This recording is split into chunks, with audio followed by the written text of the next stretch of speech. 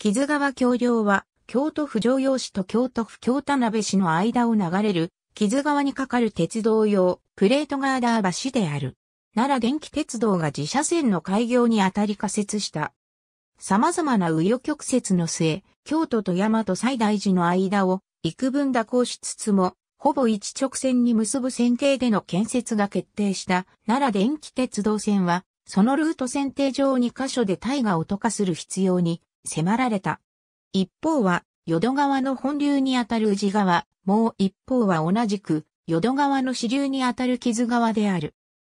これら、ことに、青山高原に橋を発し伊賀盆地で西に向きを変えて、下ってきた木津川は、新法その山田川間の東方、現在の木津川市付近で北西へ向きを変えて、奈良電気鉄道線にしばらく並走、現在の京田辺市に入ってさらに西寄りへ向きを変えた。後、八幡市で淀川本流に合流する大河であるため、伊豆湖の地点で渡化するにせよ、長大な橋梁の仮設は不可避であった。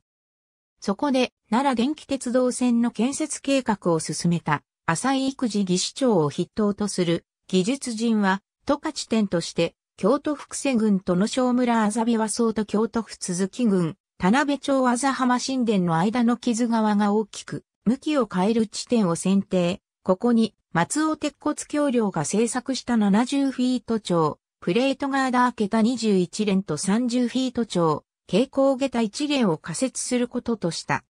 設計当時としては、一般的な設計の後半リベット組み立てによるウェジ、式単線プレートガーダー下駄を2列に並べた、シンプルな構造の橋梁である。各桁は片側3分割構造を採用しており、まず足場を川中に組んでから3枚のパネルを橋脚上に順次引き上げて2箇所の結合部分で仮受けした後、残る3枚を引き上げて結合し、組み立てるという手順を繰り返すことで、効率的な架橋作業を行っている。桁を支える橋脚は、鉄筋コンクリート製の釜地構え橋が採用された。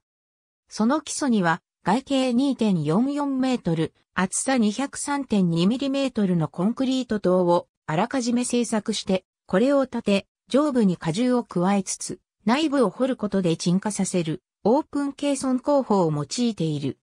本橋梁は、折川橋梁、伏見第一、第二高架橋と並ぶ奈良電気鉄道線の重要施設の一つであり、奈良電気鉄道が近畿日本鉄道へ九州合併され同社京都線となった際にもそのまま承継された。